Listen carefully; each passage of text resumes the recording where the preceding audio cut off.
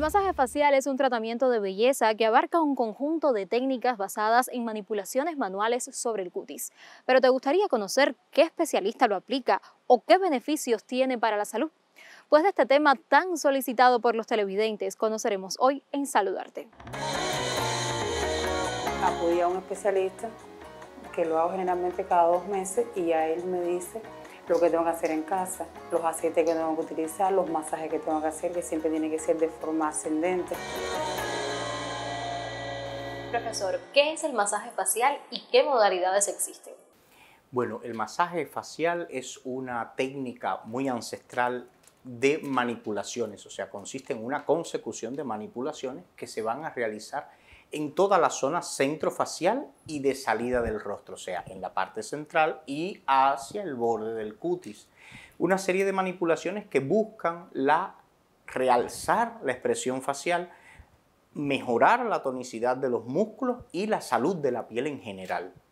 Existen muchas técnicas, o sea, eh, existe masaje japonés, masaje shiatsu, em, relajante, estimulante, tensor de drenaje linfático, o sea, las modalidades del masaje son muy amplias. Generalmente las propuestas que tratamos de buscar, sobre todo para las personas en casa, van más al skin care, o sea, al cuidado de la piel, al cuidado facial individual, porque un masaje profesional implicaría ir al espacio donde algún profesional certificado pueda realizar todas estas manipulaciones. No es cualquiera tampoco el que debe de intervenir la piel así como así.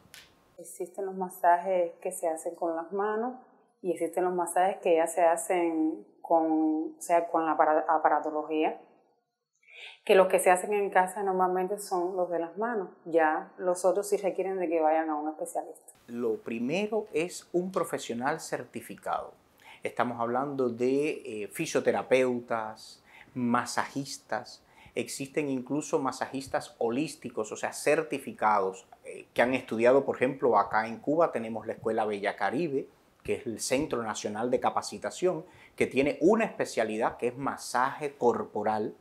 También existe la eh, especialidad de tratamientos faciales, donde se aborda el masaje facial, que es el área mía de conocimiento, el área más fuerte que poseo. Y eh, hay lugares como el Barrio Chino, el, Hospital Fajardo, donde se imparten cursos específicos y especializados. Por lo tanto, toda persona que haya transitado por un curso de este tipo, que tenga el certifico, está autorizado, está habilitado para desarrollar estas manipulaciones. Cuando uno se somete con alguien que no sabe las referencias de sus estudios, estamos en presencia de lo que se dice un tocólogo o un intrusólogo. O sea, alguien que se va a poner a hacer algo sin un conocimiento de causa. Y el masaje, sea facial, sea corporal, requiere de conocimientos de causa porque cualquier manipulación mal hecha puede dar al traste con la salud de la persona. Incluso cuando nos lo vamos a hacer a nosotros mismos, las manipulaciones son tan básicas y tan esenciales para que no te dañen, o sea, no te hagan ninguna afectación en lo personal. Eh, y cuando lo hace alguien, pues tienes que tener esa certeza de quien te está realizando el masaje tenga la acreditación formal. No es lo mismo un masaje facial que un tratamiento que podamos aplicar en casa. Exactamente, o sea, el cuidado de la casa es básicamente lo más primigenio, lo más primitivo, vamos a llamarle así. Es lo más simple, es como cuando nos aseamos, cuando nos bañamos, que es parte del cuidado personal que nos damos, que es como un mimo. Pero ya cuando el cuerpo necesita de un tratamiento, de una intervención más profunda, más intencionada, necesitamos recurrir a un profesional. Es como siempre se dice, no automedicar.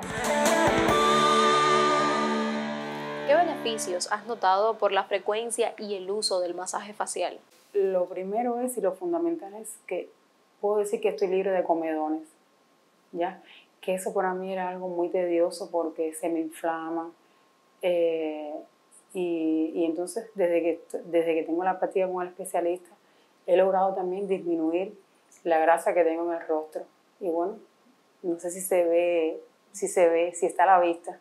Todo lo que es un toque y un roce en la piel genera una respuesta del cuerpo a nivel inmunológico, a nivel psicológico y a nivel somático. Cada vez que nos palpan, nos manipulan, nos tocan, el cuerpo responde. Y esto hace que mejore el sistema inmune. Llega más sangre al lugar que se está manipulando. Al llegar más sangre llegan más nutrientes, llega más oxígeno, mejora el metabolismo celular y cuando hablamos de metabolismo celular hablamos de todos los sistemas integrados en esa zona que estamos trabajando. Por ejemplo, en todo el rostro, cuello y pecho, que sería la zona del cutis, estamos hablando de la zona de vitalidad central de la persona, del ser humano. Por lo tanto, que llegue más sangre, que llegue más oxígeno y que mejore el metabolismo, tributa a la salud general, tanto de la piel como de los músculos, como de las articulaciones, que en esta zona son móviles, semimóviles y hay algunas inmóviles como las del eh, cráneo.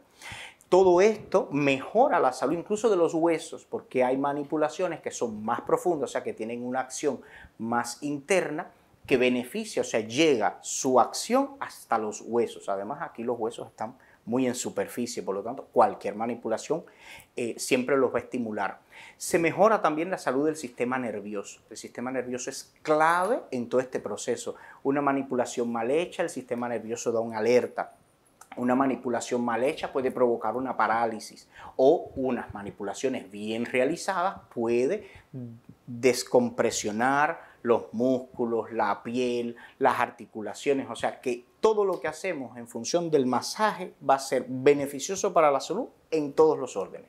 Y estos músculos responden a determinados estímulos.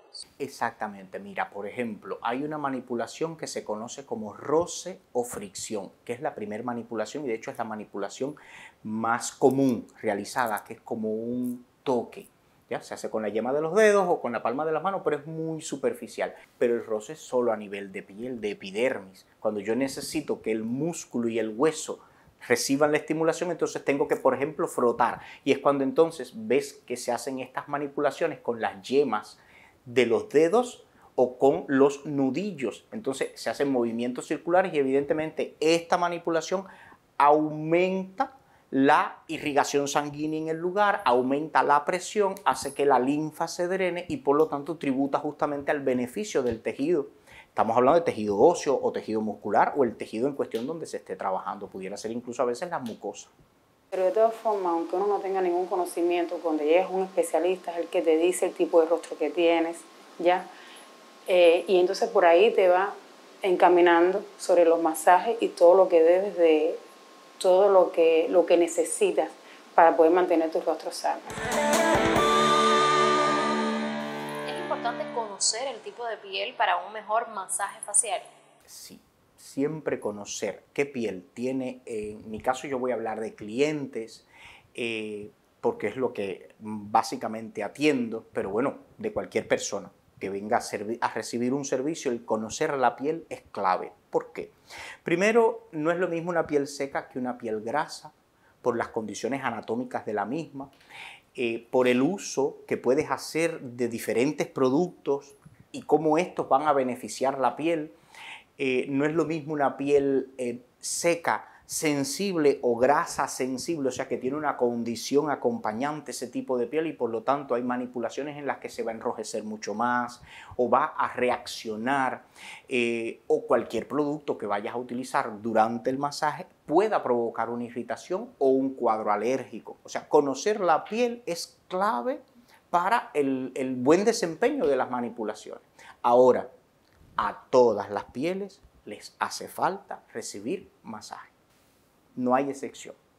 ¿Ya? Tiene que ser, o sea, por ejemplo, eh, contraindicado, el masaje está contraindicado en muchos procesos y evidentemente en pieles enfermas, en pieles muy frágiles, en pieles donde el, cliente esté pasando o atravesando por una situación de salud concreta, puntual, una situación oncológica, quizás alguna enfermedad de... Eh, inmune, autoinmune complicada, eh, donde la persona tenga el, sistema inmunológico muy bajo, o sea, que entonces hay que tener determinados cuidados o no realizarlo, ¿ya? Para evitar un daño mayor. La sensibilidad de la piel se debe a que existe en ella numerosas terminaciones nerviosas que contienen diversidad de receptores. El drenaje linfático facial es una técnica de masaje manual que consiste en activar el sistema linfático del rostro y con ello conducir los líquidos retenidos hacia los ganglios linfáticos que se encuentran situados en el área de los oídos y los ojos. Aunque uno haga eh, la rutina diaria y aunque uno haga todo en la casa, eh, siempre es bueno llegarse a un especialista porque ellos generalmente están, eh, están actualizándose de, de, todas las novedades que hay y eso te lo, te lo, o sea, lo llevan a la práctica y entonces hace que uno avance más con, con, el tema de ¿Qué manipulaciones son las ideales para el rostro y cuáles no? Bueno, a ver, en el masaje facial las manipulaciones ideales son las que se conocen, o sea, las personas incluso lo pueden buscar en la web y demás, porque hoy acceder a la información es muy fácil. Roce o fricción, que es esa manipulación inicial superficial y que además sirve como manipulación de intercambio. La frotación, que es la manipulación que profundiza la acción de eh, intervención en la piel, esta manipulación es más intensa, es más profunda, generalmente es esa que vemos que a veces se hace como si fuesen eh, como flores eh, a nivel de los cachetes, eh, manipulaciones como el estiramiento, o sea, el estirar y tensar toda la piel es muy importante. de esta manera también aliviamos o atenuamos las líneas de expresión. Manipulaciones como percusión. O sea, la percusión es, en el caso facial, se hace con lo que se conoce como tecleo, que es cuando hacemos esta operación, que bueno, muchas personas lo hacen porque estimula mucho y hay un flujo de sangre que llega por ese toqueteo y el pellizqueo, que es esta acción, que es la acción de pellizcar, como, como que pellizcas. Son las manipulaciones básicas faciales. No se debe de hacer un una percusión muy profunda, estamos hablando de cacheteo o golpe cerrado con el puño, que esto sí se hace, por ejemplo, en el resto del cuerpo. Eh, ¿Por qué? Porque el, cuerpo permite, por determinadas zonas y cavidades y además por la forma de los músculos, permiten este golpeteo intenso. En el rostro no se debe hacer porque en la cabeza hay demasiados órganos principales. Eh, y por último, siempre un toque final. Las personas pueden tener, hay quien tiene hasta plumas para hacer ese roce final que es como un suave cosquilleo, que es como para despedirse de la piel. Que además estimula, es, es muy, muy coqueto, se pudiera decir de esa manera, es un roce coqueto. ¿Un producto mal utilizado puede causar daños en la piel?